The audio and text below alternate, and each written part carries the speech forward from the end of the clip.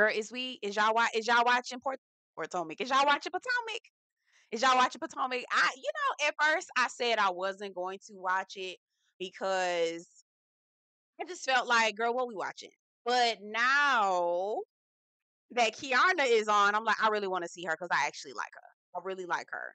And I also think that now that Candace is gone, now this is in no way, shape, or form me saying that I think Candace is the problem or anything like that. But I feel like now that Candace is gone, because Candace was a ringleader and just like not ringleader, but like Candace had her side, Gizelle had her side, and you had to pick a side. That def- now that she's not here, it kind of diffuses the sides. So basically, what I'm saying, had Gizelle left, they would have gotten along. Had Candace left, they would have gotten along. Like it just, it just one of the two had to go. So I think people are going to be able to get along a little bit better. Anyway, say all that to say that Miss Karen Huger, no ma'am, girl. When I tell you the way that Karen and Gizelle jumped up on Mia and backed her in the corner, Mia wouldn't have been able to tell me a thing. Said, I know, I I know Mia is not in here fighting for her life when she got the big joker. Maybe the way I would have been talking about Karen Huger being a delusional drunk left and right. Girl, please. Oh, uh, no, ma'am. Karen, I love you, girl. You funny as hell to me, but the way that you back Mia up in that corner, girl, you wouldn't have been able to tell me a goddamn thing. You wouldn't have been able to tell me a motherfucking thing, bitch. I'm gonna tell you that right now. You wouldn't have been able to tell me a goddamn thing. Girl, Karen, Karen Huger, you would not have been able to say a damn thing to me. Not a fuck thing to me, okay? Anyway, hey y'all. Welcome and welcome back to my channel. My name is Belle. This is the Belle Perspective, and we are here today to talk about the Real Housewives of Potomac. Girl, are you ready, girl? We back, girl. This is season nine, episode one, a crash course in deflection, and that's exactly what Karen did this entire episode. Okay, if you're new to my channel, I talk about reality TV, movies, books, all kinds of things. So get in where you fit in by subscribing to the channel, getting in the comments, letting me know what you think about the episode, and liking this video before you leave. Okay, let's get into the review.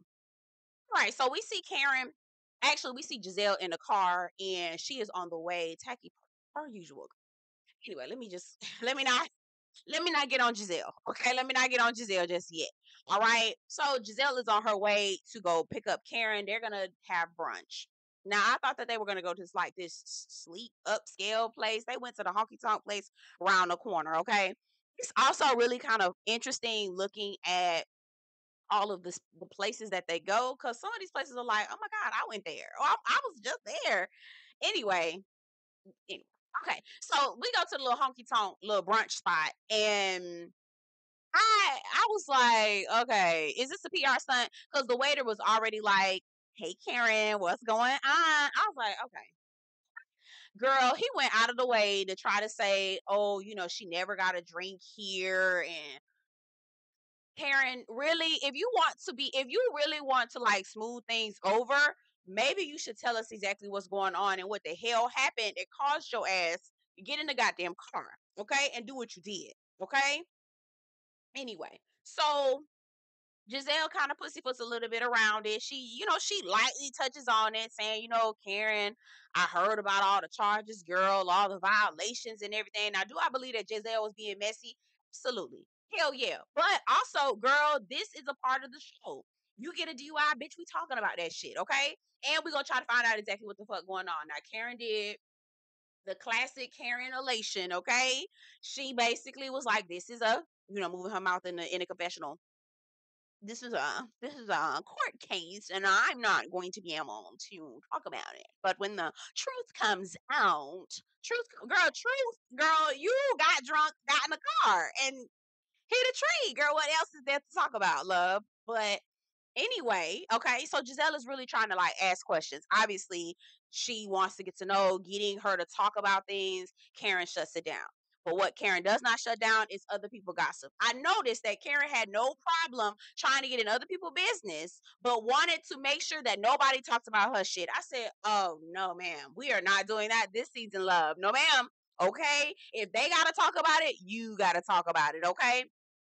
So anyway, now um she talks a little bit about it being based on the the issues that she had a lot going on, grief, marriage, all this other stuff. And I'm thinking, so what the hell going on with you and Ray? And what the hell going on?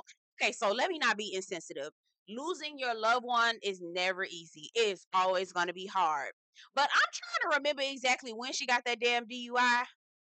I could have sworn that damn DUI had no, it was not around Mother's Day. It wasn't around Father's Day. It wasn't nowhere around the time frame when those types of things could trigger. Was it her mama birthday, her daddy birthday? I don't know. Maybe I might be wrong, but I'm pretty sure that none of those things were the case. And this is your second DUI, Karen. I, I, eh, okay. Anyway, Gizelle tells her she wants to have a birthday lunch for her, and it's gonna be called the Hatitude Party. Girl, Gizelle is so fucking corny, girl. When she was giving out the instructions, I was like, "Oh my gosh, shut the, who did this? Who, who, who, who, who, who? This idea? Who is this? Did production put you up to this? Ugh, girl. Anyway, so I was so displeased. Oh, girl, please, girl. Anyway, okay, so we get to me a bitch. Okay, so part of me, like the messy part of me is like, girl, what the fuck you got going on over there, Mia? You messy, girl, you a pimp, what's going on?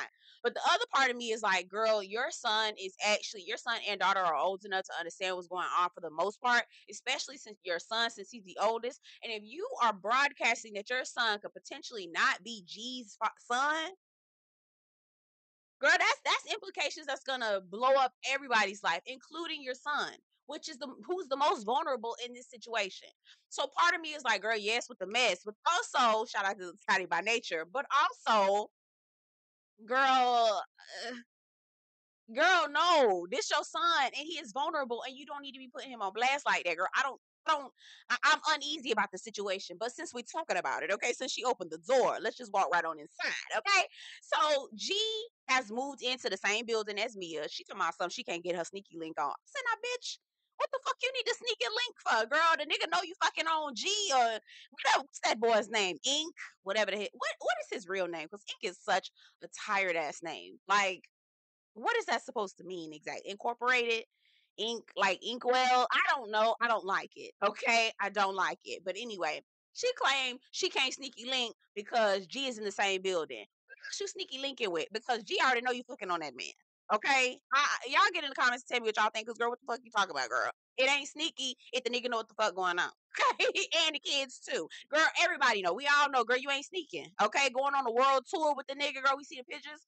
Girl, he throwing you up in the in the in the sunset, girl, and you throwing your weed back like everything. Girl, please. Okay. Uh. Anyway, ciao bye.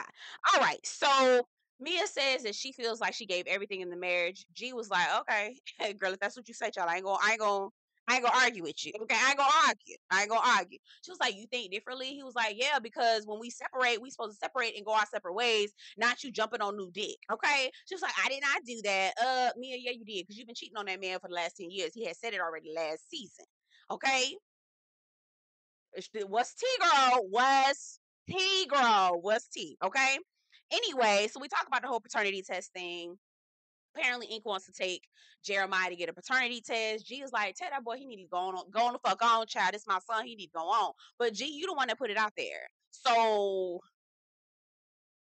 I mean, you kind of opened up this can of worms. You really did. You really did. So, uh, do I blame? Do I blame Mia? Absolutely, because she, you know, Mia was being Mia. But also, G, you don't want to put that shit out there. So since you put it out there, carry it through. Do I think that G feel like G is so desperate to have arm candy. not even arm candy. I feel like G is so desperate to not be left alone because pretty much his family ain't fucking with him like that. You know, they they suing him.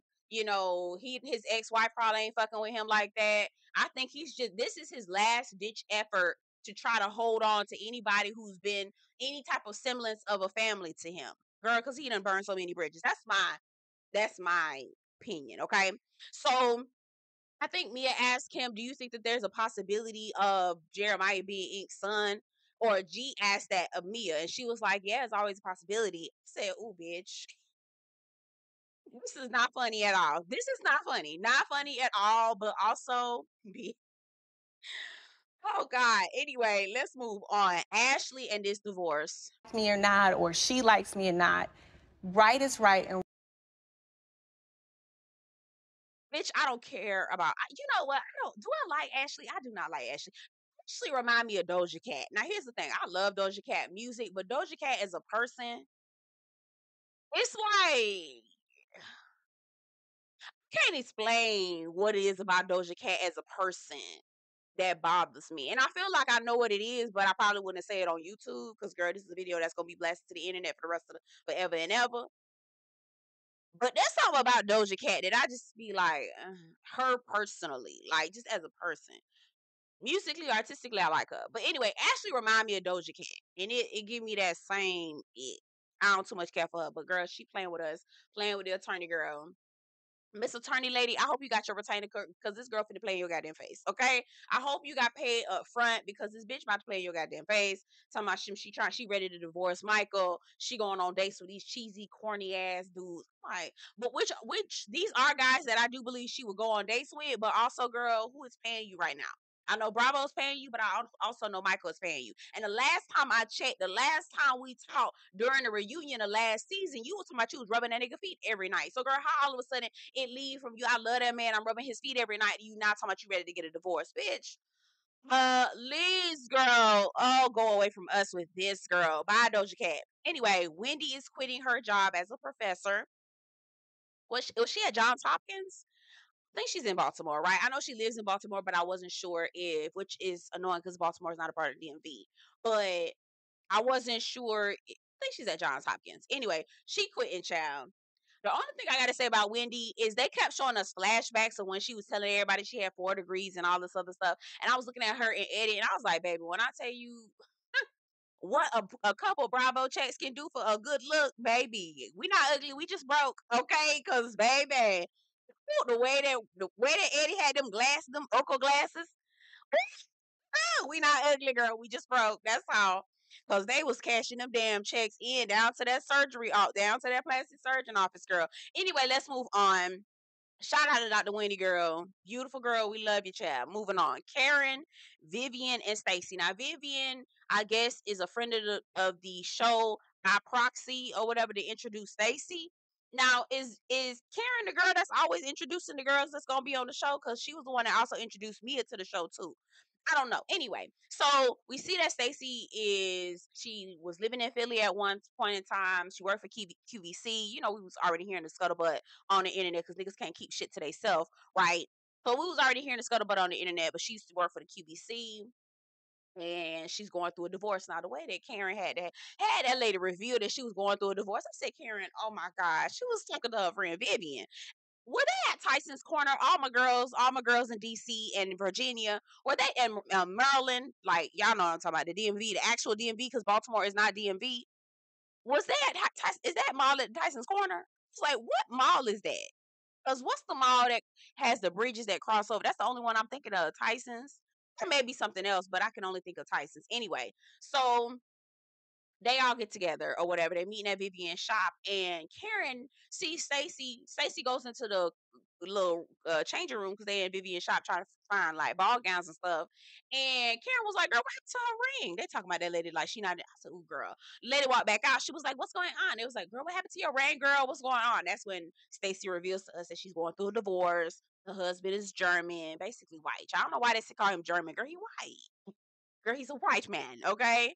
She married to a white man, getting a divorce from him. They were married for 16 years. They've been separated for a year, but now they're finalizing their divorce. So she has a daughter that's I think eight years old. Like Stacey, she she seemed like she all right. She seemed like she cool or whatever. So this is gonna be interesting. They talk a little bit about the Hatitude Party. They show us this tired ass invitation that Gizelle. It's like, girl, and Cal in the background pretending to be a beatbox or something. I was like, y'all just couldn't play no music. Girl, you just can send a text because that would have been the equivalent, girl. Ugh. She's so fucking corny to me. Okay. Anyway, Stacey and Vivian are sharing a glass of champagne in the boutique, and Stacey, you know, she was being messy or trying to be considerate. She was like, "Oh my God, Karen, is this going to affect you?" Karen was like, "What?" Knowing exactly what she's talking about. She was like, "What exactly?" You know, us drinking champagne. She was like, "No, I'm on medication right now. I'll be drinking with you. I'll be having libations with you soon." Bitch, okay, girl. what medications are you on? Okay, and why the hell you wasn't on them got med- goddamn medications to keep your ass out of that damn car to keep your ass from having a damn DUI, girl? Karen Pudley, now you on medication that prevents you from drinking. Karen, I, uh, police, okay? I don't expect somebody to embarrass you, right, or berate you, but be for real. All right, so we get to the party now, girl. The party they wasn't afraid to get the mess started, okay? And so Ashley gets in. She says, "Here's this bounce back basket. What's it called? The bounce back basket, girl. I got her a, birdhouse so she can paint. Find her something to do. Water bottle and an Uber gift card." I said, "Oh." Was was I the only one like Ashley? Bitch, don't. Oh my god. Anyway, Gizelle was like, I would have gotten her Uber gift cards too. I said, oh y'all, y'all ain't shit. Uh-huh. Okay, y'all ain't shit. I mean, y'all right, but y'all ain't shit. Anyway, we find out Gizelle has invited Wendy. Gizelle says that she's all about peace now after her father passed. Okay. you know, and she's after her father passed, she has more empathy and compassion. I said, well, girl, what was that shit? Where was that shit at the at the reunion, girl? Where was the empathy and compassion in? Girl, just say that the people, the production team said y'all better get y'all motherfucking shit together or you'll be cut off. Okay? You need to start showing empathy and compassion. Yeah, that's kept that's exactly what I know happened. They told her Gizelle, you don't show any empathy. You do not show compassion. You need to start doing that for the season because motherfucker people don't like your ass. Because that's literally what I was reading in all my tweets. No empathy, no compassion. So now she's saying, bro, please we already know the game. Gizelle want to stay employed, and Wendy does too. I'm not mad at them because I wouldn't be giving up no Wendy or Bravo checks for nobody neither. Okay, y'all saw that man lurking, girl. That shit was funny as hell. I mean, at first when he was over there lurking at Jack over there near Jacqueline, I was like, who the fuck is this man? But then when he was lurking, when he saw what Jacqueline was saying to Karen, he was like, oh, bitch, that shit was funny as hell. Anyway. So we got all the girls coming in. We got Jacqueline. We got Jazzy, who's a new girl that's being introduced as a friend of the show through Mia. Her husband is an NFL player. He plays for the Kansas City Chiefs, who are two time Super Bowl winners. Wendy tells us that she's become a Swifty now. Okay, that's wonderful. Anyway, Karen hasn't arrived, but all the other girls are there. So they was like, Is anybody heard from Karen? Mia was like, Yeah, Jacqueline heard from Karen a while ago. She called her drunk. Everybody was like, Ooh. Wendy said, Ooh, I don't want no parts. Girl, Wendy said that, girl, I it was so fucking funny. I, I think Wendy heard all the the I get the people. She saw that Wendy. Everybody liked how she was looking into the camera and drinking, and you know how she did in the last season. I guess she's trying to do it again. I don't know. Maybe maybe I'm just maybe I'm analyzing this like I don't know. Anyway, so it was funny. It was funny to me. Okay, so all right, so they get Karen finally gets there, and they're at the table, and baby, they couldn't get couldn't wait to get a damn party started. Gizelle was like, "Okay, so the rules of the game: you can, if anybody has an attitude, you'll get a taco hat or a banana." Girl, you in this game, okay? you in this game. God damn it, I'm sick of this. Uh, who is this? Who's whose idea for this goddamn game? Go outside and do something else. Anyway, all right. So she tells Gizelle, I mean, Gizelle tells Karen, you know, again, some more shade, again, some more shade. So we got the Surrey County, we got the Grand Dame. I think there was another drink that was like based off of Karen. They was like, but the Grand Dame is non-alcoholic, just for you. I said, oh girl, we gonna be. I'm not mad at it. Gizelle, do your job. Do that. Do that. Because listen, the way Karen wants to skate around and skirt around and skirt, no, ma'am. Okay. Anyway, we get to the party, right? We get we get the party started. Gizelle was like, "Listen, the girls had questions about your girl." Okay. And I said I wasn't gonna say nothing. I was gonna wait till you got here. Karen was like, I heard you niggas was looking for me, bitch. Here I go. Okay. Here I go. Here I go. Here I go. Here I go. Here I go. Ask me all the questions you need. What's going on? What's up? What's up? What's up? What's up? Okay. Anyway, so all the girls was like, oh, bitch, Jacqueline. Okay, you know, me a friend well, we're just happy that you're okay and that you didn't hurt anybody and nobody got hurt and no kid got hurt or nothing. Everybody was, oh, okay, girl, what? okay. When I tell you Stacey is not ready for these girls because the way that we got started getting into talking about Mia, Stacey was like, What? Oh my God. Girl, this shit was funny as hell to me. Anyway, so All right. So Karen was like, "Listen, cut all that shit out. Here, I'm I'm trying to find out who is base, who's one of my my riders, who's gonna ride for me. Okay, who's my real friend? Because I don't need no fake bitches around. Basically, I translated that into okay. I'm down bad. If y'all hoes talk about me or try to talk about me like a dog, I'm gonna realize that you ain't my friend and you gonna be on my shit list. Basically. Okay, don't go there. All right. But in my mind, it's like, ma'am, this is a TV show. You need to put your life on display. Your life is on display. You able to cash all these checks from displaying your life. Part of your life is you getting that goddamn DUI. Okay. And so don't act all upset when people come for you. Because guess what, love? You would do the very same thing had it been anybody else. If Karen was in this situation, or if somebody was else in this situation, Ashley was in this situation, gizelle was in this situation, Wendy was in this situation, Mia was in this situation, baby, Karen would be doing the exact same thing. Cause just like she turned around and deflected Okay. Okay. A crash course in deflection is the perfect name for this damn episode because that's exactly what Karen as did. All right. So Anyway, girl, I'm yelling. So, all right, now here we go. Um, Gizelle starts handing out the hats, girl. She was girl right there. Girl, okay. Now she gives Mia a hat, basically calling her the king, because Mia over there pimping all over the world. All right. So then we start asking about the situation with G. And they're also Karen and or not Karen, but Gizelle and Ashley are inviting the, the girls to another event about for GNA fusion.